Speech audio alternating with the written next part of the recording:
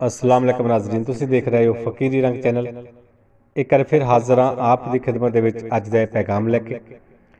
ਅੱਜ ਦੇ ਇਸ ਪੈਗਾਮ ਦੇ ਵਿੱਚ ਆਪ ਜੀ ਦੇ ਨਾਲ ਹਜ਼ਰਤ ਸੈਯਦਨਾ ਸ਼ੇਖ ਅਬਦੁਲ ਕਾਦਰ, ਸ਼ਾਹ ਜ਼ਲਾਨੀ ਮਹਿਬੂਬੁਲ ਸੁਬਹਾਨੀ, ਕੁਤਬ ਰਬਾਨੀ ਵਲੀਆਂ ਨੇ ਬਲੀ ਪੀਰਾਂ ਨੇ ਪੀਰ, ਦਸਤਗੀਰ, ਪੀਰ ਮੀਰਾ ਗੌਸ, ਪਖ ਸਰਕਾਰ ਜੀ ਦਾ ਇੱਕ ਕਿੱਸਾ ਆਪ ਜੀ ਦੇ ਨਾਲ ਸਾਂਝਾ ਕਰਾਂਗਾ।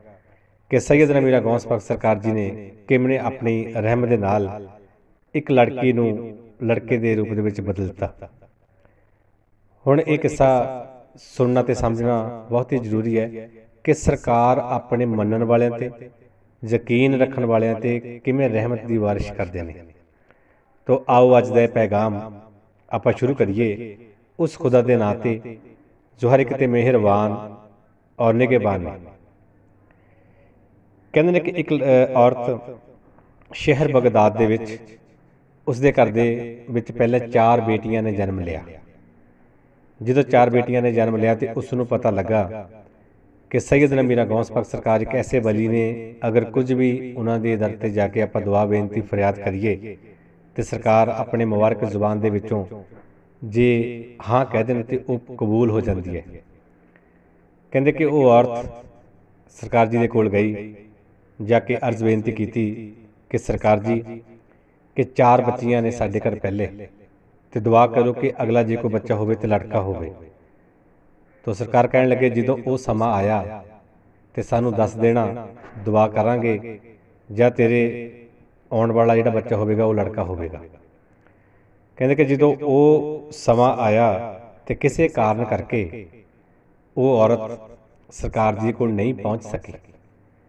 ਜਦੋਂ ਹੁਣ ਉਹ ਸਰਕਾਰ ਜੀ ਦੇ ਕੋਲ ਨਹੀਂ ਪਹੁੰਚ ਸਕੀ ਤੇ ਉਹਨੇ ਜਦੋਂ ਬੱਚੀ ਨੇ ਜਨਮ ਲਿਆ ਤੇ ਦੇਖਿਆ ਕਿ ਪੰਜਵੀਂ ਵਾਰੀ ਬੱਚੀ ਹੋਈ ਹੈ ਤੇ ਇੱਕ ਕੱਪੜੇ ਦੇ ਵਿੱਚ ਰੱਖ ਕੇ ਹੌਲੀ ਹੌਲੀ ਸਰਕਾਰ ਜੀ ਦੇ ਕੋਲ ਪਹੁੰਚੀ, ਜਾ ਕੇ ਕਿਹਾ, ਸਰਕਾਰ ਜੀ, ਤੁਸੀਂ ਕਿਹਾ ਸੀ ਕਿ ਅਗਲਾ ਬੱਚਾ ਜਿਹੜਾ ਹੋਵੇਗਾ, ਉਹ ਮੁੰਡਾ ਹੋਵੇਗਾ, ਪਰ ਜਿਹੜਾ ਅਗਲਾ ਬੱਚਾ ਇਹ ਵੀ ਮੇਰੇ ਬੱਚੀ ਹੋਈ ਹੈ ਤੇ ਮੇਰੇ ਚਾਰ ਪਹਿਲਾਂ ਸੀ ਤੇ ਇੱਕ ਹੁਣ ਤੇ ਮੇਰੇ ਪੰਜ ਹੋ ਗਈਆਂ।